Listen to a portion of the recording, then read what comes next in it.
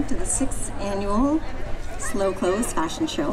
My name is Natalie Roisman and I am the Community Arts Supervisor at the Ferry Building Gallery. We invite you all to come visit us at the Ferry Building. We are just down the road here. Don't come all at once because we're very small, but do come and visit us.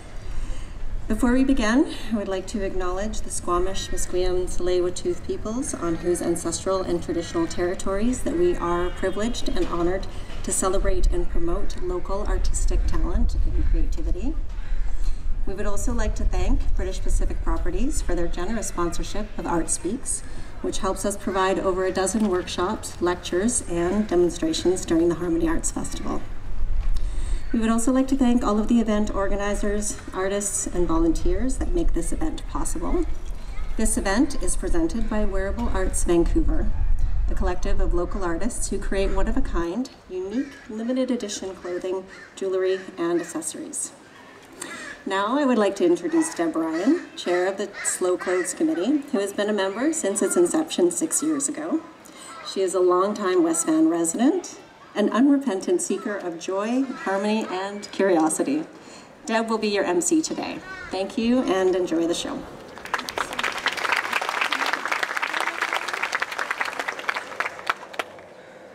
Sorry, last minute details. Welcome again, and I see everyone has decided that the shade is best, so I hope you will still enjoy our show, and you can see many of the items afterwards because most of the items that you'll see in our show are for sale. So yes, we've been in, uh, working together now for six years, our group. We're all volunteers, um, and we're all fiber artists who celebrate the slow clothes concept. We hope to encourage others to join us. Slow clothes is a philosophy. It's an alternative to the fast in our society. Fast foods, fast cars, fast fashion, not good for us and not good for our environment. So slow clothes honors the environment, tradition, the maker, and the wearer. So when you are wearing slow clothes, it's actually for your benefit as well. You will be more in harmony with the world too. So we hope that you will be inspired to find more joy, more meaning, and more personal expression in your own unique style. We proudly present the work of 38 artists today sharing the common desire to create in an eco-friendly manner, translating their inspiration into the beauty of the completed item. Each in their own way has chosen to honor the work of the hand, the heart, and the soul. And I, before I go, I just, I'm going to say thank you a lot, but I just want to say again, we have over 70 volunteers, and we've been uh, really helped also by the Harmony Arts Festival folks and the people at the Ferry Building big time. And so we are going to start off. We didn't know whether it was going to rain or shine because a week ago the forecast said it would be a high of 19 and rain. So we came prepared. Our wonderful umbrellas are made by Liz Burnett of Liz Art Studio. You'll see her over there. And she's a, sorry, I'm also got hay fever. Um, she's a multimedia artist in painting, illustrating, writing, and jewelry making inspired by nature and the beauty of everyday life. Thank you, everybody.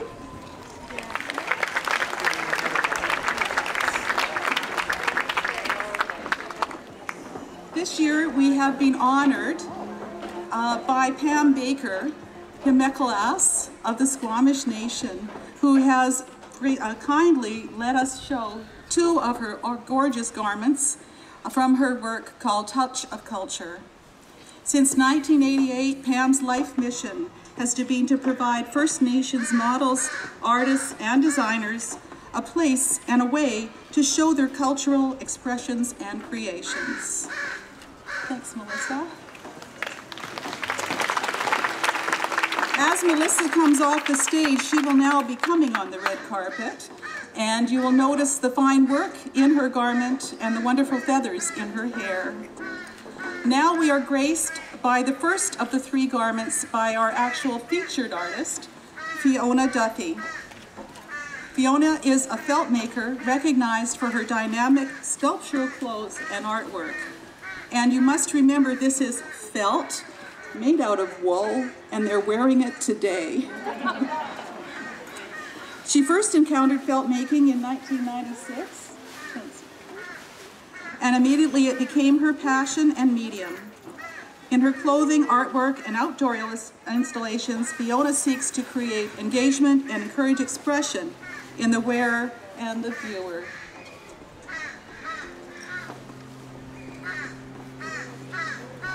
See, anyone can wear these garments from zero to 110, and she's not 110. um, so Fiona strives for excellence in design and technique while furthering the medium of felt through the use of new material combinations like felting with paper and using sumi ink work as surface design, which you will see down on the dress below there and the others.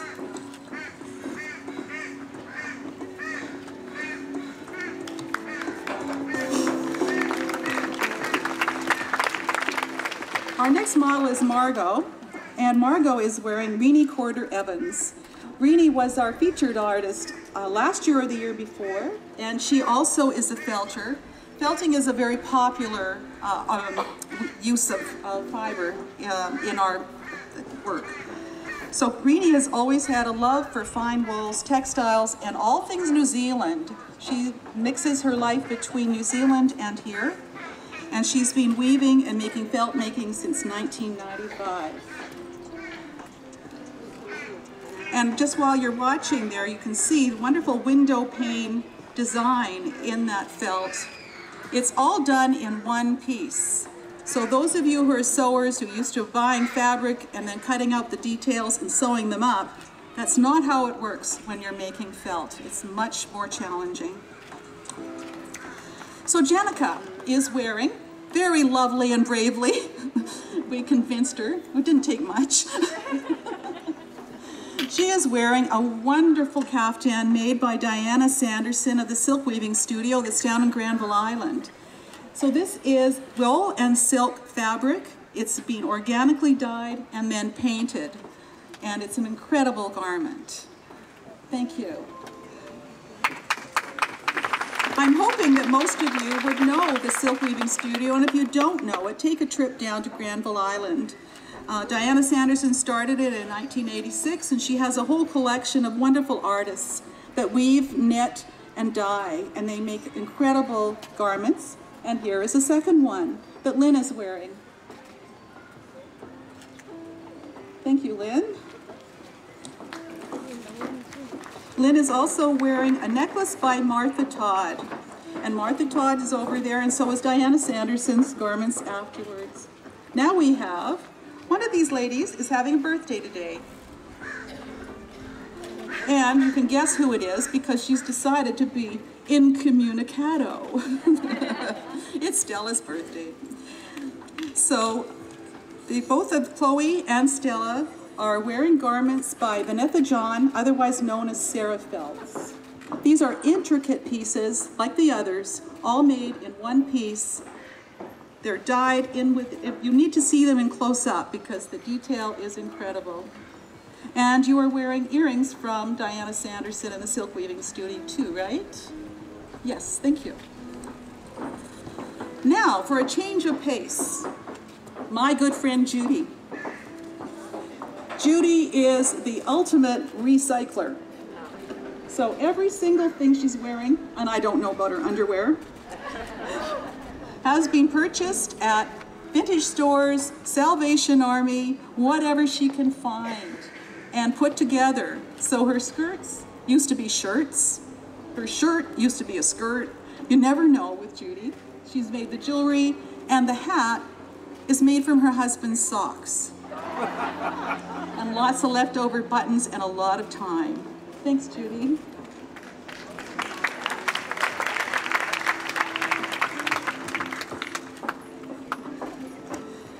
Is our next person. I always think of Viv as my sister I should have had because we both have the same last name. Viv is wearing a wonderful velvet jacket by Delaterra Designs and a necklace by Monica Gewurz, I think. Or, sorry, my cards are getting really mixed up here. um, thanks.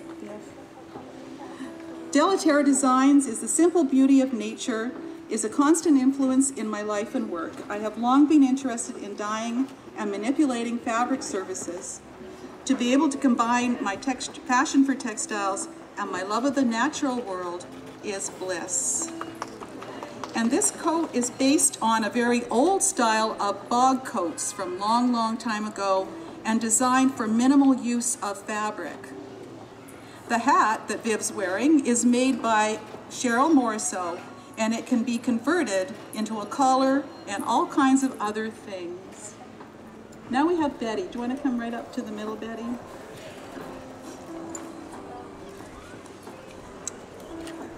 Do a twirl. Betty is wearing an amazing coat. Uh, a few people this morning came by and looked at this coat uh, when we had it outside. There are no seams on this coat. There's no coat, no seam joining the collar, no seams in the sleeves. It's all being made in one whole piece. It is all, so it's Nuno felted, it's eco printed with eucalyptus and hand stitched and actually has won awards and is going to be going to Toronto right after this show uh, to be in another show. And Judy.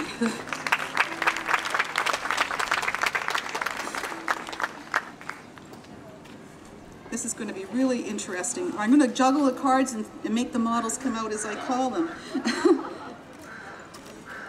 Judy is, I think you've been a model with us the whole five years. She skipped a year. We were not happy with her when she did that. She is wearing a tunic, a top, and pants that are all made by Marianne Greaves, which is art to wear. And uh, Marianne says that Vancouver has always been her home. After graduating from Kwantlen College in 1983, she worked for a well-known local designer, and in, twin, in, she launched her art to wear a few years ago, and she's now used, many of you will see her work in many locations in West Vancouver. And Judy is also wearing a necklace by Joanne Waters, and it's made out of the fibers left over from the weaving process at the Silk Weaving Studio, so one does not waste anything in our world. We're going to have three up here shortly, uh, but as you can imagine, we have a very small tent, and we have about 22 models, and it's really hot. and here we come. So sometimes our changing time is a little tricky. So this is Lynn, Emma, and Margot. They're all wearing Frida Pagani garments. And of course, one of our famous, um, just a sec, Lynn, just come back for a sec, sorry. and Lynn is wearing a double hat by Cheryl Morisseau and a necklace by Joanne Waters. Thank you. All three of these garments are made by Frida. Frida is a retired uh, architect and she's returning to her Scottish roots now as a knitter and fiber artist. And she taught her needle skills by her mother as a young child in Scotland. These three garments are recycled, re-dyed, and re-embroidered and totally made new by Frida's Magic Touch. So now these three ladies are our sun, sea, and sand, I guess, colors. They're each wearing a different artist. So Chuhan at the top here is wearing three garments made by the Silk Weaving Studio again. The top, the sweaters, and the pants, and the earrings are actually from them as well. Thanks, Chuhan.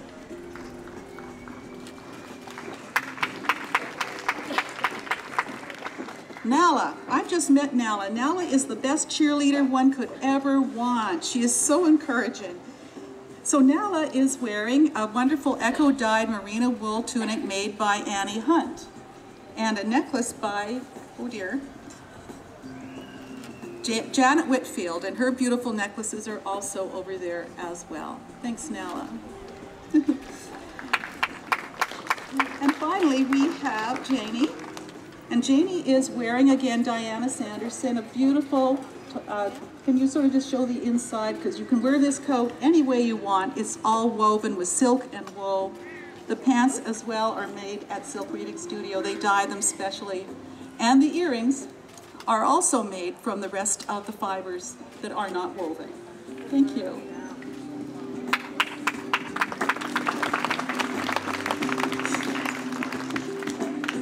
So now our next few models are modeling uh, clothes made by Ratatouille or Susan Perkin. And our first model is Jenica, a lovely outfit that is quietly elegant and also a slight bit naughty. And our story of Ratatouille designs goes far beyond charming and authentic vintage linens hand-selected from the markets of Provence. Ratatouille Designs is labeled proudly in Canada and hand-sewn in North Vancouver. With Ratatouille's designs evolving catalog, Susan hopes to stir your imagination with the markets of France, giving you pleasure and tradition in your home and on yourselves because she's using mostly vintage bed linens. She goes to the markets in the spring and she buys all these gorgeous old bed sheets and converts them into these wonderful, wonderful garments. And the earrings are borrowed but great. Thank you. Now we are very lucky. Some of you will recall last year we had two or three rather young weightlifting kind of guys. Oh yeah. so we decided we needed to do something a little different this year. So we are thrilled that we've got Lewis, Alistair, and Handsome all wearing beautiful jackets made by Susan. Uh, they're vintage uh, fabrics, most of them, and they're the, based on the French workers' chore jacket. And many of you will know about that because you might remember uh, Bill Cunningham, the famous photographer in New York, who only wore a blue work jacket and he went through five or six in his lifetime. So the first one Lewis is wearing, and I have to find the description here. So this one is, it was a vintage hemp bed sheet. There you go. Did you know that? and it features an interesting detail of a previous owner's mend to the sheet. And the jacket hem is all hand stitched from the original sheet. Thank you, Lewis. Alistair, who's really added to himself with his hat and his stick, I missed that.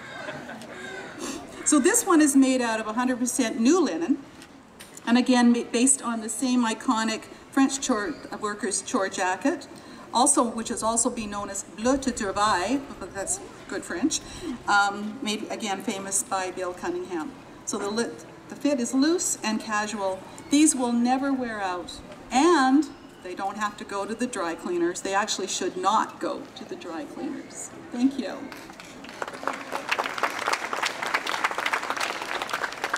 And Handsome is also wearing another chore jacket made from beautifully soft and durable repurposed vintage French hemp household sheet purchased in the markets of Provence.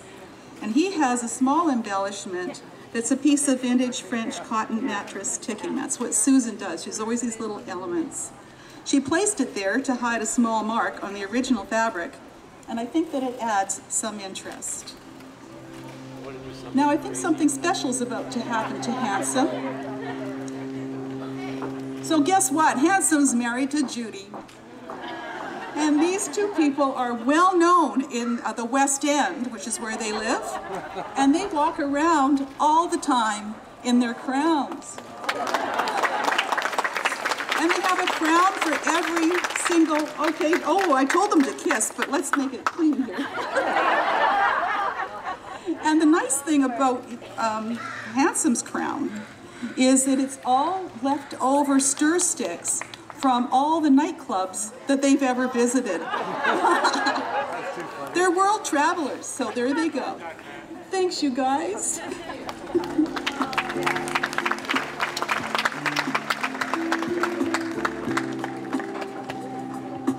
Brenda's next. We have grown to love these kimonos, don't we, Brenda? You, Brenda loves these.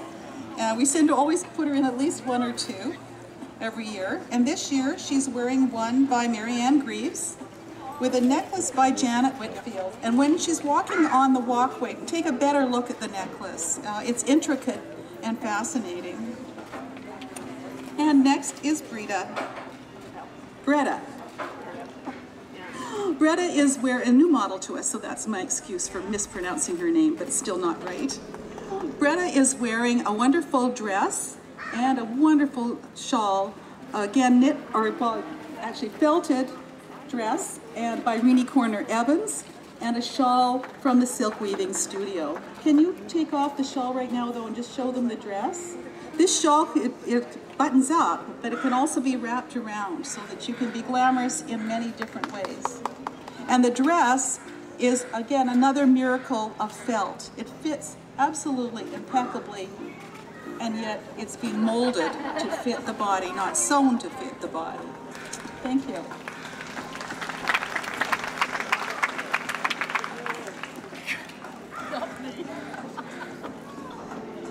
Those of you who've been to our show before know we're, we're trying something a little different. We're trying for a non-stop flow, which is probably creating challenges downstairs, is it? A little bit. I think I should slow down. so we have Emma, Emma, Janie, and Chuhan again. And they're all wearing Alice Phillips.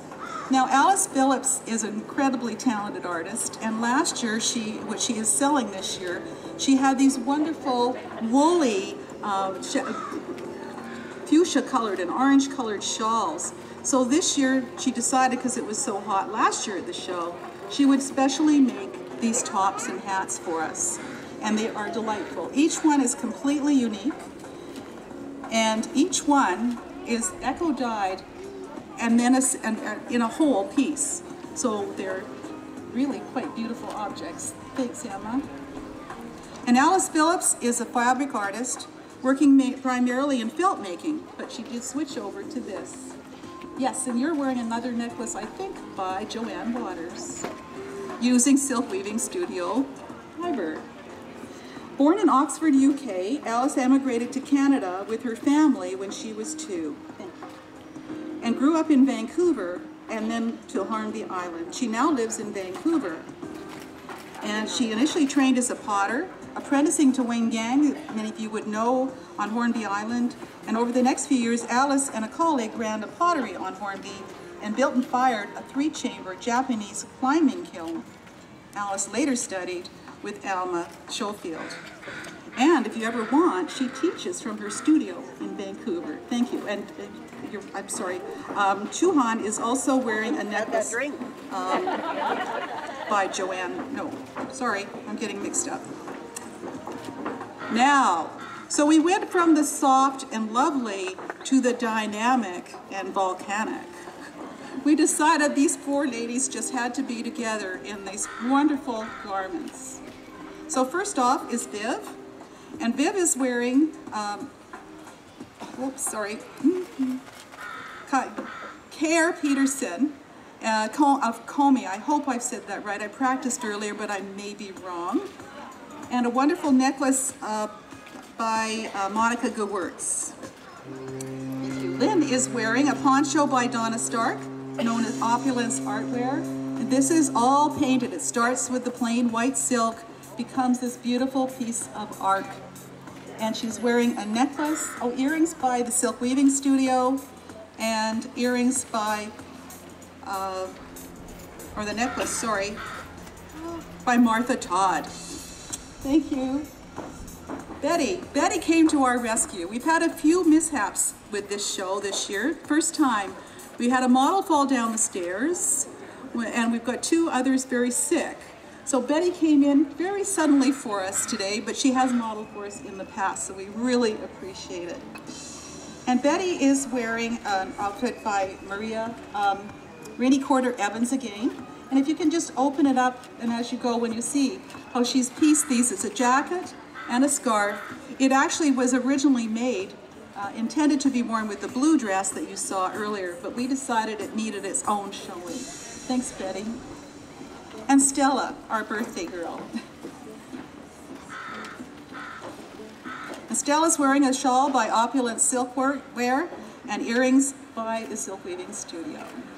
Another great top, you know, you just wrap that in, put it nowhere, it takes no space, and before you know it, you're glamorous. It doesn't help hurt if you look like Stella.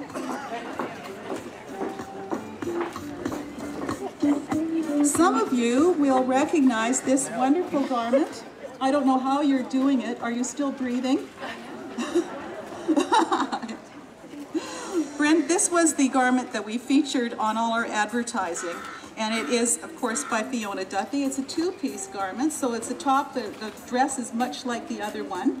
And then we have this wonderful top piece. Can you turn around and just give them a show?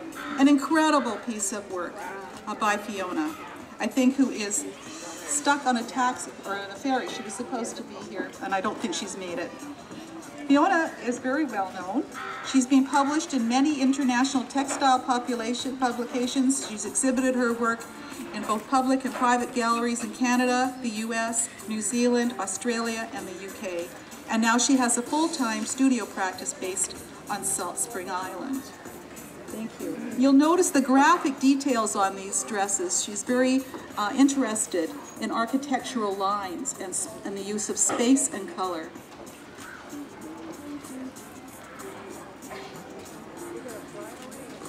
And now we have Judy, a lovely calm oasis in the middle of our color and drama.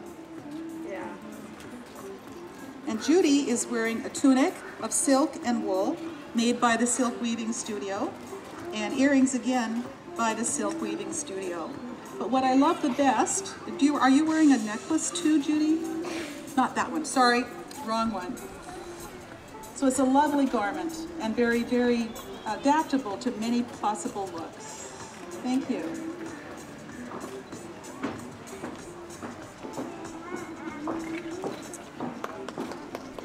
Chloe and Nala are back.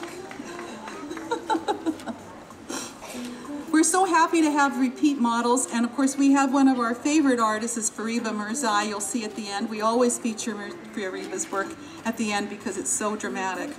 But we inherited Chloe from her, and now she's done both, and we really appreciate it. And Chloe, they're both wearing garments by Donna Stark, the Opulence Artwear. Again, starting with the basic silk and then all hand painted, so each one is completely and absolutely unique. And your necklace is by Joanne Waters. Yes. Thank you.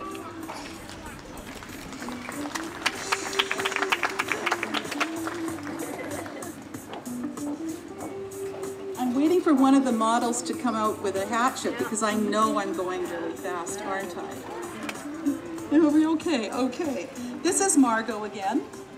Margot is wearing, I'm going to start with the necklace so I don't forget the jewelers. This necklace is made by Martha Todd.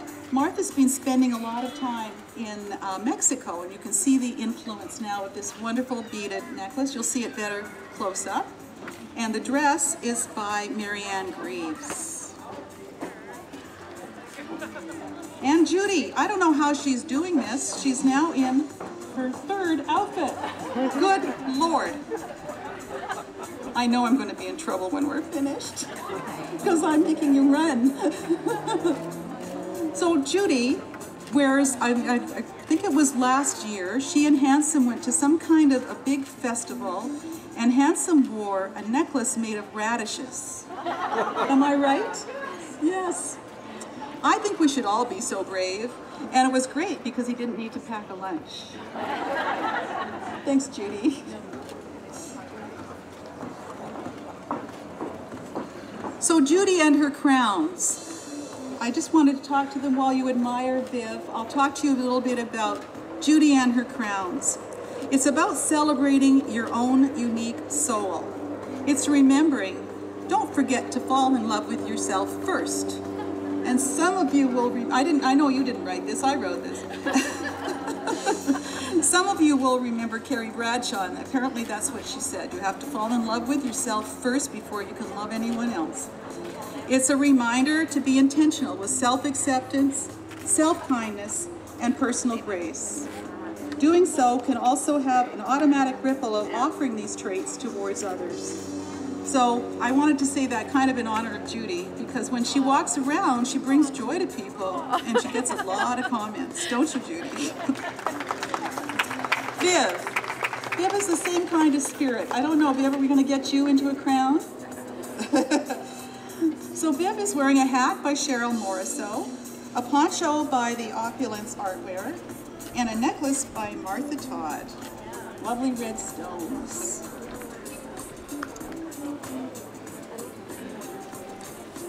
Oh, you did it.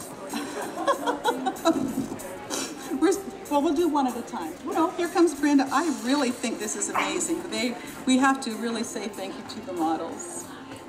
So Martha is wearing a necklace by a new artist to us. We discovered her, one of our committee members was buying groceries at the IGA in Dundarave.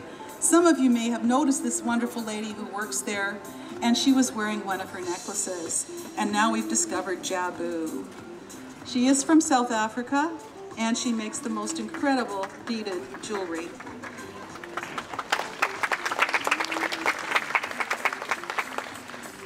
And Brenda's dress is by Kara Peterson, and there's a blue and black uh, jacket to go with it.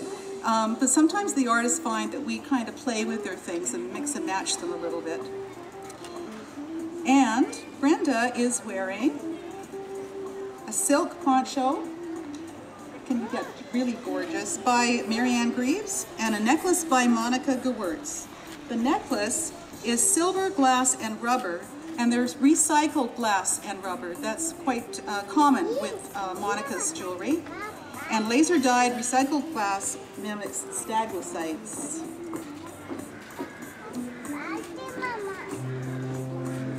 So one of the things I used to say is, I dare you to wear any of these outfits and go shopping at IGA. Uh, now, you certainly, all of you would feel very comfortable wearing this lovely, calm outfit this is by our very own Roz Aylmer. Roz was our initiator for ourselves for these fashion shows, um, and uh, we're all really happy that she did get us going on all of this. So this is a lovely linen jacket, um, and I've just got a description here of it. So it's a discharge with bleach. So you can see how she's done the design by discharging. The original fabric is the darker color, and then she makes it lighter. And the necklace is a wonderful ne necklace made by just driftwood found on the beach by Frida Pagani, dipped in dye and put together. Thank you. Now the next two people come out, I am shocked. They are so good.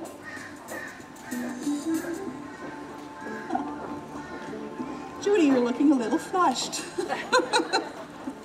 I'm going to warn you all right away. If you like this red or this black dress, you can't have it because Judy's going to buy it. She's also made that very clear to all of us. And I've lost your cards, Judy. Oh my God. Okay, I'm now in a mess. Okay. Judy is wearing, a, I think that is Kai, Kai here? Yes. The dress and the poncho. And the necklace, I believe, this is a good test for me, is Joanne Waters again, slightly different than her usual work. Again, these are wonderful pieces for traveling. And Greta loves this kimono. I think she's going to buy this as well, aren't you? And the necklace is by Martha Todd. Do a nice little flip there for the, yes. Really gorgeous. Thank you.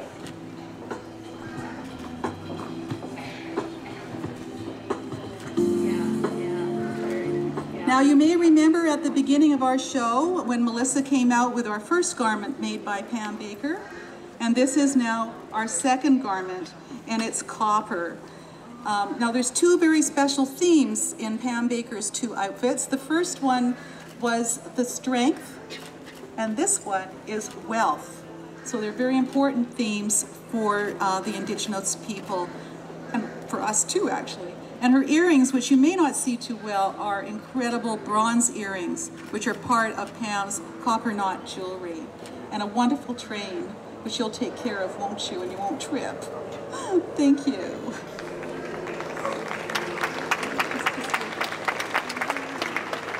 Okay, I feel like I've been racing. I just have to sort through cards right now, everybody. So talk to your neighbors for a second and decide what you're going to buy. And I will return to you in a second. Ah, but I guess I'm not being given that option. These lovely ladies are all wearing garments made by Fariba Mirzai. And now, when we've talked about how you make felt, that's one thing. You start with wool fibers and silk fibers usually. But these are all made with thread and amazing kind of none of these were ever purchased in a whole. I don't know how she does it. And she also talks about the fact that they have a life of their own. So as she starts to work, they take shape and form in her mind. And I don't know, there was a new, we had a, only four models and suddenly we have five. So somebody, so just so you see, be careful if you're in the audience. One day you might be asked to model a garment. So take a twirl and then, yes, take your time because I want to find the descriptions that I had that I had lost. Oh, goodness. Okay, I found them. Okay, I'm going to tell you about Fariba. Fariba is an award-winning Vancouver-based fashion designer and textile artist. She creates unique, She creates unique textile and wearable art out of non-traditional materials. She was born in Abadan in southwestern Iran, but she's been here now for quite a long time. And she graduated from Capilano University in their former textile art and design program. Many of us are mourning the fact that that is no longer in existence. She produces her pieces from scratch, a process that includes designing the fabric, the pattern or design, and the styles to create unique items of wearable art. It's an absolute guarantee, actually, for any of the garments you've seen today, that you will never be seen, you know, going to a party and walking into yourself. By incorporating this craftsmanship into her process, Fariba is able to create one-of-a-kind designs meant for a distinctive niche in the field of fashion. Because of this, her designs remain unpredictable and are impossible to rep be reproduced by others. So if you're ever really hankering over a very special garment, you can come to any of our artists, actually. So her garments are called by name. So the white one that's coming out right now is called Snowflake. That's on Chloe. It's a handmade felt, machine stitched, printed, dyed, and embellished. The others are called Naz, Butterfly, Softmass, and Sanas. So each one are very personally um, named. They're individuals. They're not just something to hang on a hanger.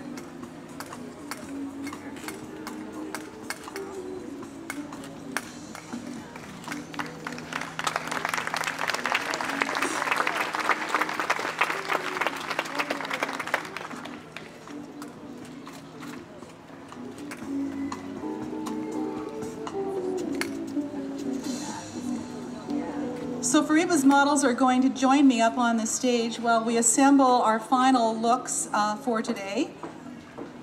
Oh, and I think we're almost ready.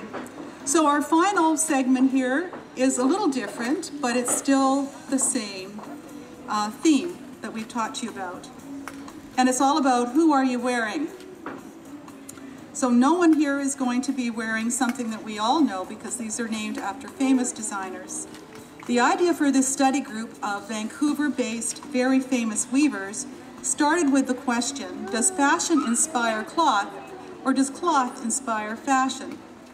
This started us thinking about where fashion designers find their creativity and how they move from an idea in their head to a finished garment. They proposed to each other that without a piece of cloth or textile to drape, sew, fold, or wrap around the body, fashion design would be impossible.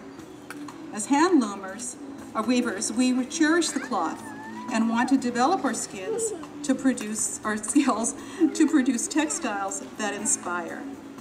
So what they decided to do was each one of them to pick their favorite fashion designer.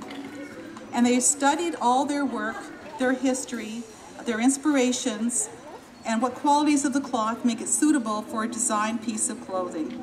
And each one of them then picked a designer. And we are so fortunate uh, to have the honor of being allowed to show these to you today. They're not for sale, they are treasures. Um, and they're on, going to be uh, on display at the Textile Symposium or Society of America Symposium in September this year, which is in Vancouver. This is an international event.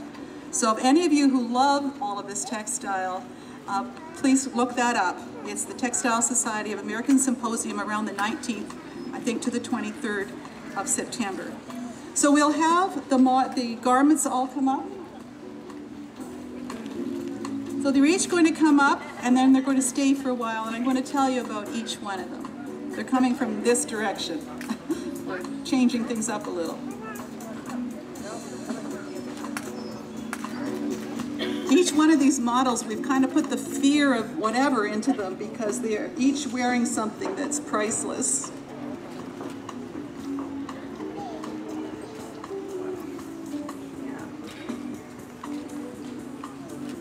Stella's at the top, yes.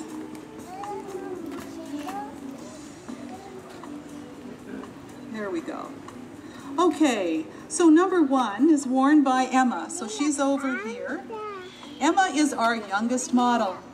Now it's not her birthday today, but I think it's Friday or Saturday. She'll be the big 1-4. How many of us remember being the 1-4? Stella did not let me tell you how old she was. so this is based, this is a, a, a, shawl woven by Leslie Green. She, her inspiration is a person she called Eva, the first designer. And she existed in the middle to late Bronze Age, 1600 to 850 before Christ. So people, of course, have been clothing themselves for a long time, and they didn't ever have patience with just whatever. And so we've been making garments that are beautiful and gorgeous for thousands of years. So for those of you who are weavers, I'm not, you might understand the technique. It's crammed and spaced, warp and weft, card woven inches. Thank you, Emma. Number two is worn by Chuhan. And this is made by Janice Griffith.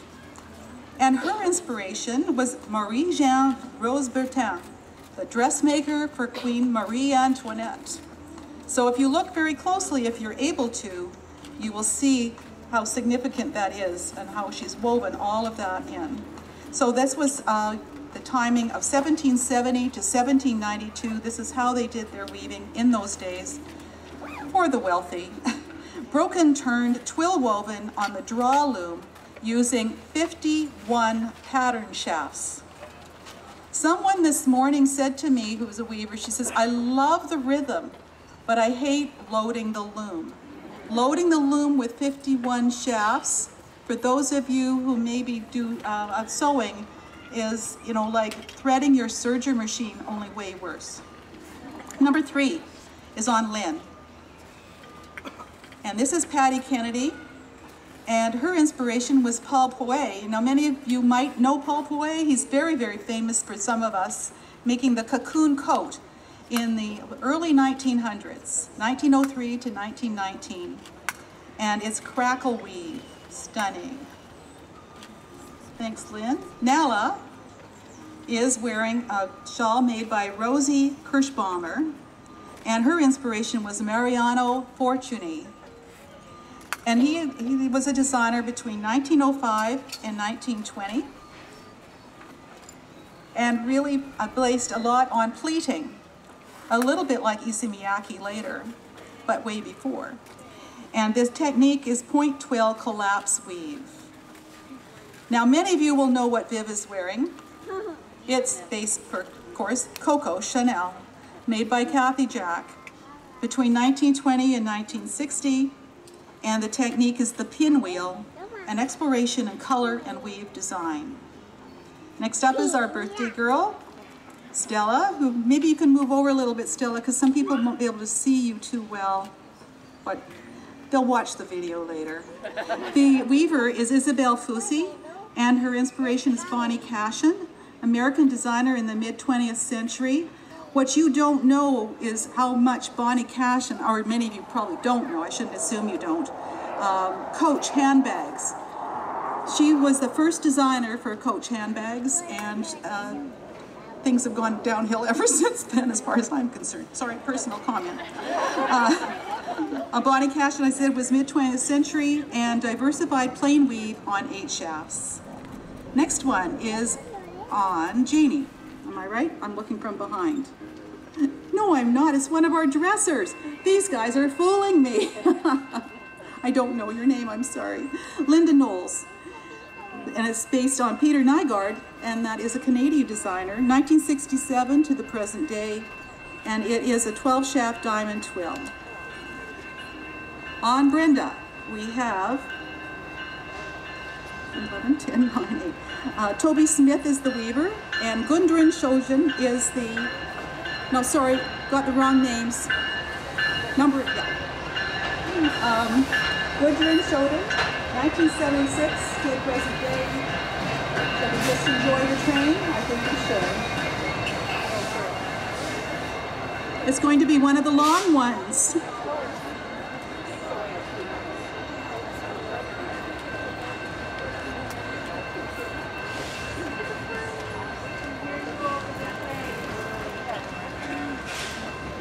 It really is going to be one of the long ones. How are you guys doing? Oh, more people, good. Perfect, okay. So number nine is Beryl Hickenbottom, and her inspiration is the Issey a technology-driven clothing design, late 1980s to the present, and it's a turn twill collapse weave.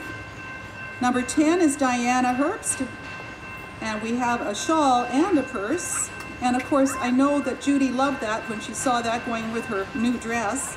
Uh, her inspiration was is Zonda Nellis, another famous Vancouver designer, 1975 to the present day.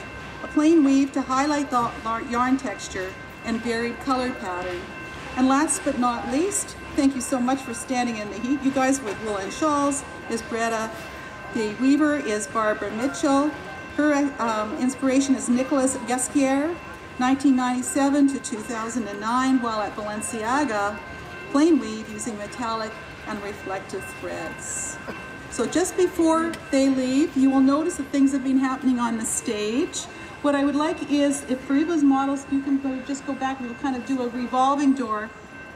Can all the models and, not the models, but all the dressers and other volunteers who are able to come up, just come up to the stage to say a big thank you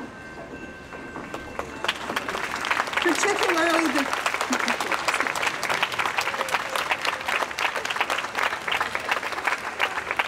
We start planning in February and our culmination is not quite today. We have our sum up meeting next week, but it's incredible and then come back. And I just really want to say thank you to everybody so much and to all of you who've sat out here so patiently in the hot sun and listened to me as I made a mess of my cars. So thank you so much.